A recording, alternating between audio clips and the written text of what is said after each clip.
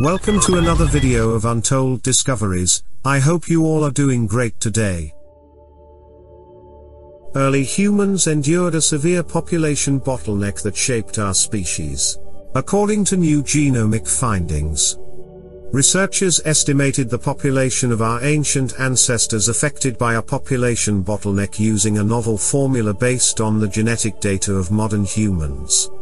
Humans are, as far as we know, the most successful species that has ever evolved on this planet.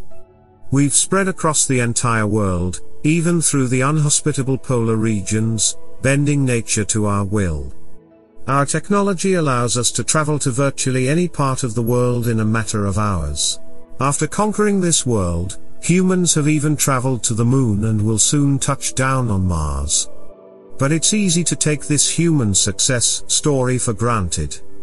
In fact, it's only thanks to blind luck that Homo sapiens are a thing today. Throughout history, our species and our ancestors have gone through multiple crises that threatened to make us extinct. According to a new study out this week, one such event may have occurred roughly 900,000 years ago. Around this time during the early Pleistocene. The number of human fossils, scientists have found is very small compared to the rest of the fossil record. Now, a genomic analysis suggests that our human ancestors went through a severe population bottleneck during this time of crisis. This would explain the fossil gap. There simply weren't that many people left anymore to leave traces behind them. While there are more than 8 billion people alive today, Scientists believe our ancestors' total population plummeted to just 1,280 breeding individuals, and this crisis lasted for nearly 117,000 painful years. Before the crisis, the researchers estimate the human population hovered around 27,000 individuals. The international team of researchers, which included scientists from China, Italy, and the US, employed an innovative technique called FitCoal, fast infinitesimal time coalescent process, to shed light on a previously unexplained gap in the African and Eurasian fossil record. Instead of relying solely on fossils, this technique leveraged modern-day human genomic sequences, from 3,154 individuals to infer the demographics of ancient human populations. The results indicate a significant drop in genetic diversity among our ancestors between 800,000 and 90,000 years ago. And this loss of genetic diversity can only mean one thing, a proportional plummeting of the population. The gap in the African and Eurasian fossil records can be explained by this bottleneck in the early Stone Age as chronologically. It coincides with this proposed time period of significant loss of fossil evidence, says senior author Giorgio Manzi, an anthropologist at Sapienza University of Rome. This period of extreme genetic constriction had far-reaching consequences.